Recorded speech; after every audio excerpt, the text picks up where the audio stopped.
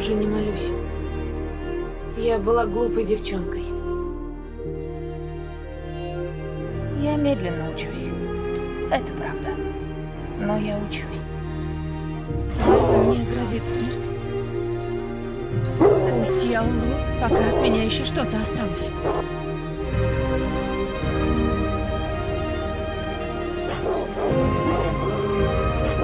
Санса Старк из Винтерфелла. Это мой дом, и тебе меня не запугать.